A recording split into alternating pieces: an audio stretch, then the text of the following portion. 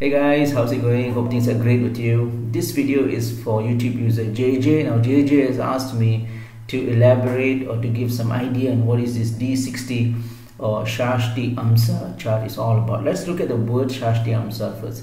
Now it's a concatenated word just like uh, you know most of the Sanskrit grammar. Words are in a very Sanskrit is a very crude form because of its ancient um, uh, you know the, the script itself is ancient. So as such there are many words put together to form one particular logical meaning. Um, and this concatenation these words that coming together sometimes can be confused misleading or even exploited by people. So let's break it down. Shashti amsa. Amsa means division. Okay? Amsa means limbs or divisions. Um, um, Shashti itself has many connotations to it, but in this context, Shashti means lessons to be learned. Now, it also means punishment. If, if you if you understand the actual meaning of it, it also means punishments. So this chart, this D60, has something to do with punishment, something that that we would learn from the actions that we have taken. Now, what does this tell you? It tells you it's about karma, right? Now, this chart is purely um, it signifies what are the actions that we have done in our previous birth, all right? Uh, and because of that, the consequences, the repercussions that comes through that in this birth, right? Whatever they have done on the previous life, which was not been uh, learned, the lessons which has not been learned will be then deponed in this in this birth. Okay, so this depositions is is where the they call it as Prarabdha karma right? Uh, and the one that has happened is called a Sanchita Karma. Right? So this D60 actually gives us two things. Number one, it shows us the events that we did, you know, individually that we have done uh, in our previous lives or life, depending. Uh, and you know what are the uh, you know the effects of it you know we could have hurt somebody's feelings we could have killed an animal we could have ruined a business you know depends depends to your charts and because of that, uh, whatever they have done, of course, we cannot escape karma, right? Um, it is it is the a, a, law which is ancient and inexhaustible. You cannot just re- replace karma with something, or you cannot reduce your karma. Whatever you have done will come to you, all right, good or bad, both will come to you. So the D60 gives us a very good understanding, clear indications. We can see the events that happen. We can see what we actually did on our previous birth. It's a very interesting. Um, it's it's a little bit difficult to analyze this D60 chart, um, but then if you go in, you know, if you look into the attributes of it, you learn so so many things about your past lives, and of course with that you can map it what's going on in this year birth. And then you can have a good understanding. Okay i am going through this problem right now because this is, is what i've done.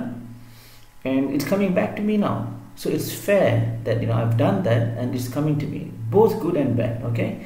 Um, so shashti amsa again shashti means punishments or lessons to be learned. Amsa means division. It's uh, the 60th division. So which means you dissect the um, the D1 chart 60 times, right? The lagna is very, very, very um, sensitive.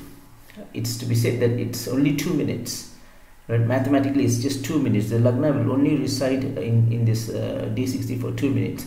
So if your birth time is off or in skew for two minutes, then it's all wrong. So people who who does uh, uh, past life analysis, birth and birth rectification um, you know, it is essential to do a BTR or birth time rectification. Now, I do both past life analysis and BTR.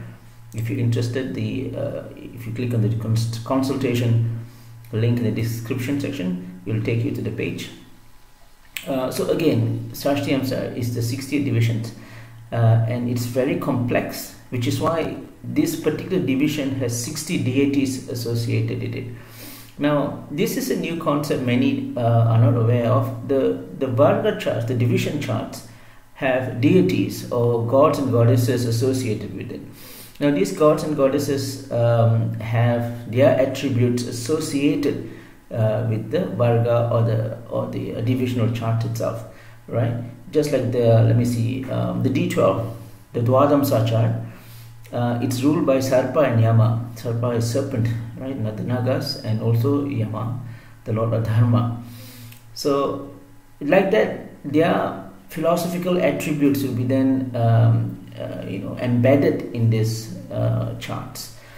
So just like that, the D60 has 60, 60 uh, deities associated. So you can understand how complex it is, how important it is. Now, the Vishwa Parashara, Sage Parashara has given a very high reference uh, for this uh, D60. It comes close, you know, hand in hand with the D1 charts. It's very, very important. But remember, as I said, if your time is off by two minutes, then you get all wrong. You know, your karma, your past life, nothing can be correct.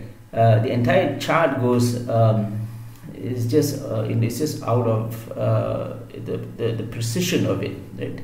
Accuracy is very important, which is why the birth time rectification uh, is important. If you're really not sure of your time, it is important. This is why even like twins, right? If twins. Uh, the, the Shashti Amsa is all different, even for twins, because of the two minutes difference it creates an entire different uh, personality all right um, what else I can talk about? So yeah, that's about it. So it's very important. It gives us clues, indications who we were, what we have done, uh, and uh, and the depositions which are made in this birth, and and sort of karmic transaction or the payment, karmic payment that we need to make uh, is seen in this chart. Uh, so so that's a little bit about the, the D60.